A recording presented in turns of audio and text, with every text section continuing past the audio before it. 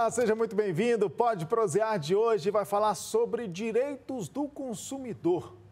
Comprei ingresso para um show, o evento foi cancelado, tenho direito ao reembolso? O que fazer? Como solicitar? E ainda, mês de férias, vou viajar, a empresa aérea ou de ônibus cancelou a minha passagem, cancelou a viagem, o que fazer? Essas e outras perguntas nós vamos fazer agora para a nossa convidada de hoje, doutora Patrícia Dantas, advogada especialista em direito do consumidor. Oi, doutora, muito obrigado pela sua presença aqui hoje. Oi, Marcelo, tudo bem? Obrigada, prazer imenso estar aqui com vocês. Vamos começar então falando de eventos. Muitos shows internacionais que acontecem, eventos grandes também, quando a gente fala de, de Goiânia, muitos eventos é, a nível nacional, inclusive. E aí o consumidor, ele compra o ingresso geralmente antecipado, porque compra ali com desconto num lote promocional, primeiro lote, se programa dias antes, fica sabendo que o evento foi cancelado. O que fazer? Pode solicitar o reembolso? Quais são os direitos de quem comprou o ingresso? Bom, pode sim. O que, que acontece? O consumidor, da feita que ele compra, que ele adquire um ingresso, ele se torna ali, ele, ele fechou um contrato de prestação de serviços. Se eu tenho um contrato de prestação de serviços, esse contrato ele deve ser efetivado. Né? Então, assim, o show foi cancelado, qual é o meu direito? Eu posso pedir reembolso? Pode pedir o reembolso. É, muitas vezes o consumidor é, especificamente comprou para assistir aquele determinado show, em que pese normalmente ter vários shows num dia só.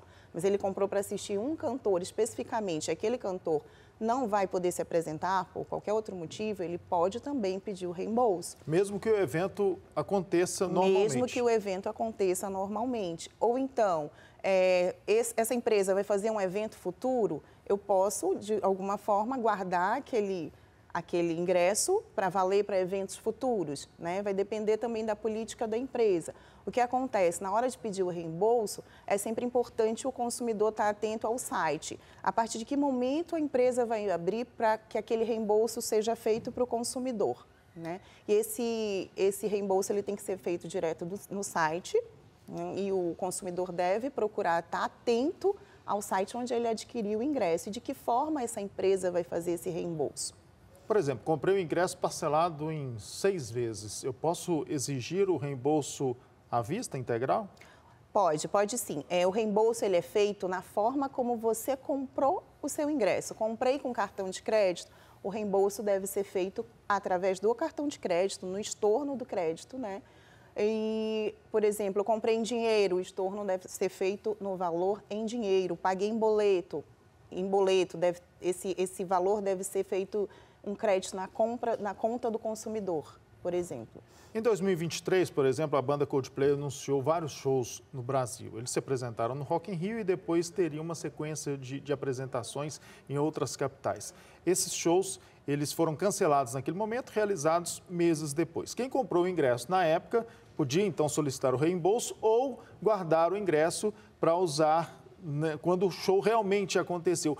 Mas e quem se planejou, por exemplo, já comprando passagem aérea, é, fazendo reservas em hotel e o show não aconteceu naquela data específica, o consumidor tem direito também ao reembolso desses outros gastos?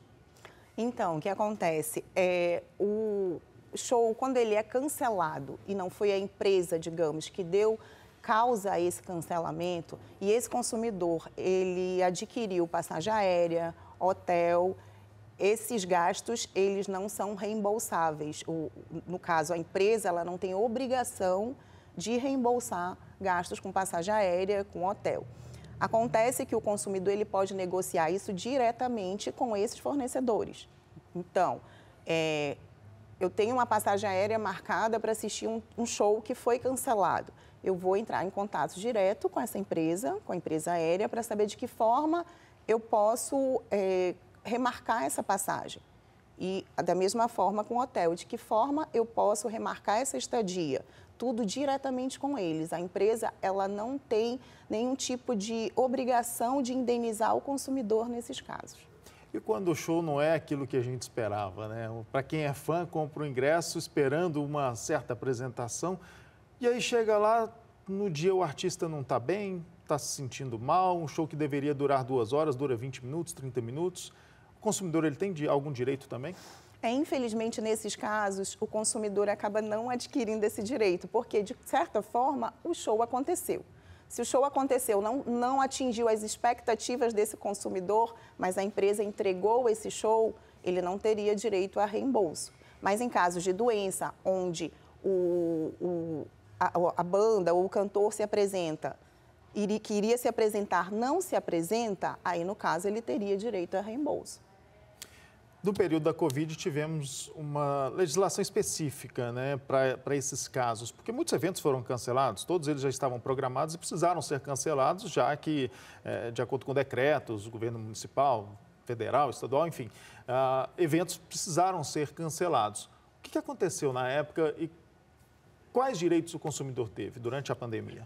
Então, durante a pandemia foi um, como a gente chama, né? É, aqueles casos de caso fortuito e força maior. Né? Então, assim, foi força maior, os eventos precisaram ser adiados.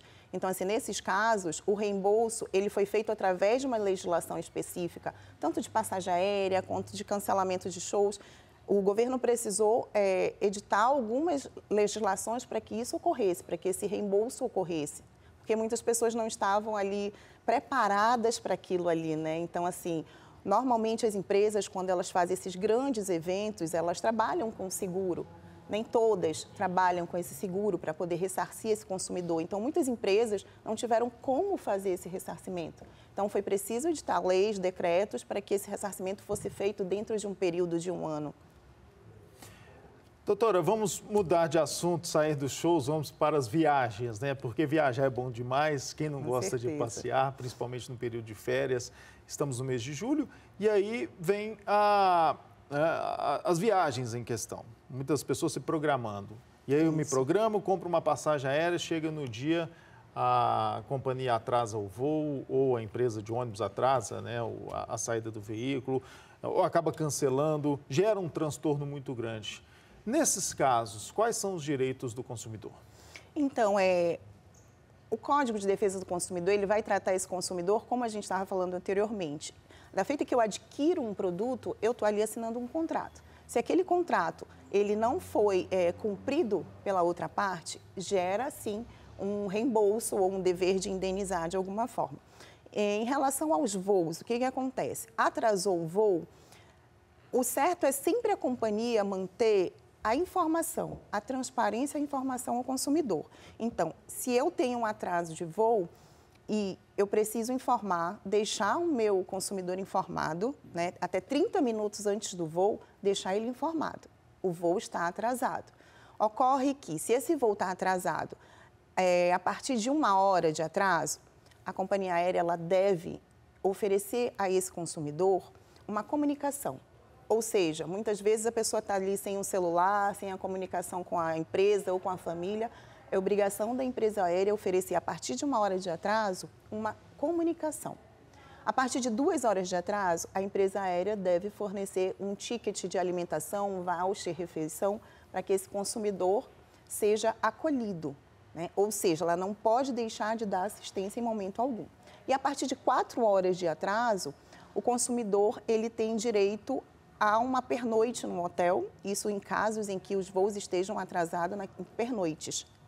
Se for casos assim, que esteja durante o dia, a partir de quatro horas, não necessariamente a empresa tem obrigação, mas pernoitou no aeroporto, a empresa tem obrigação, a partir de quatro horas, de pagar tanto o transporte de ida e volta para um hotel, quanto o hotel.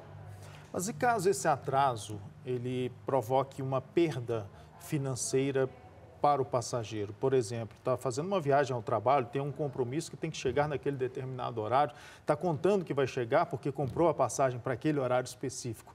E aí perde perde o compromisso, perde ali talvez uma negociação financeira, enfim, acaba perdendo valores. A companhia também é obrigada a restituir esse prejuízo? Bom, sim. Se a companhia deu causa, o atraso, no caso, ela deve sim. Eu tenho um compromisso e eu não posso faltar esse compromisso, esse consumidor pode pedir o reembolso integral dessa passagem. Ou então a empresa aérea deve obrigatoriamente realocar esse consumidor num próximo voo. Em casos de cancelamento, ela deve, inclusive, reembolsar integralmente essa passagem. Mas e a perda que ele teve deixando de estar naquele compromisso, né, no destino que ele O que, que acontece? Muitas vezes essa perda ela precisa ser comprovada. A partir do momento que eu tenho a comprovação dessa perda, eu posso é, ir até a justiça, acionar judicialmente aquela empresa para que ela faça um ressarcimento de danos morais ou danos materiais. O que muitas vezes a justiça ela tem entendido até como a questão do mero aborrecimento.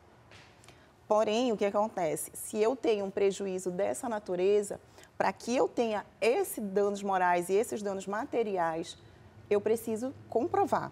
Eu preciso efetivamente comprovar que teve um abalo, que eu tive um abalo financeiro, que eu tive um, um dano moral muito bem comprovado para que a justiça possa, de, de certa forma, enxergar que não foi um mero aborrecimento do consumidor. E aí o consumidor compra a passagem aérea, dá tudo certo com a viagem, mas chega no destino, o hotel não cumpre com aquilo que foi planejado. Uh, o que fazer nesses casos também? O que, que o Código de Defesa do Consumidor diz? Porque tivemos casos recentes agora de um, um site famoso, inclusive, cancelando várias diárias de hotéis, várias, é, vários pacotes e os consumidores uh, sendo pegos de surpresa, né? Isso, nesse caso em específico, o hotel ele era apenas um prestador de serviço dessa empresa. Então, se eu chego no meu destino e eu me deparo com essa situação, a primeira coisa que eu preciso fazer é acionar essa empresa responsável por esse, pela compra desse pacote. E no caso, se eu fechei direto com o hotel, o hotel deve se responsabilizar. Agora, se foi uma empresa que intermediou essa, essa compra dessa estadia nesse hotel, a empresa deve se responsabilizar.